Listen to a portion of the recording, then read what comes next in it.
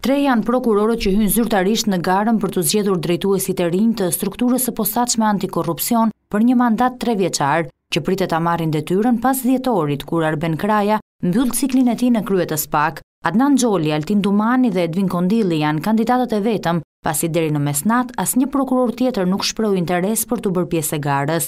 Finalizimi i kreut të ri do të bëhet me votat e njëmbëdhjetë anëtarëve të Këshillit të Lartë të Prokurorisë në datën nëntëmbëdhjetë dhjetor, ditë që përfundon dhe mandati i kreut aktual, pasi të dëgjojnë platformat e kandidatëve. Altin Dumani dhe Edvin Kondili hyjnë në këtë garë për herë të dytë, pasi tre vite më parë ishin konkurrentët kryesorë të Arben Krajës, por që nuk ia dolën. Nga ana tjetër, Adnan Xholi, me eksperiencën e drejtuesit në ish-Prokurorinë e Krimeve të Rënda, për herë të parë synon kreun e spak. Kreu i ri i spak zgjidhet në një moment kur jo vetëm ndërkombëtarët, por edhe publiku kërkon rezultate, arrestime të zyrtarëve të lartë të implikuar në korrupsion dhe anëtarëve të bandave të krimit të organizuar. Tre kandidatët tashmë duhet të shtrijnë influencën e tyre për të bindur anëtarët e Këshillit të Lartë të Prokurorisë për shumicë votash. Arben Kraja ndërkohë do të vijojë të jetë një prokuror i thjeshtë në spak për të përmbyllur mandatin e tij nëntëvjeçar.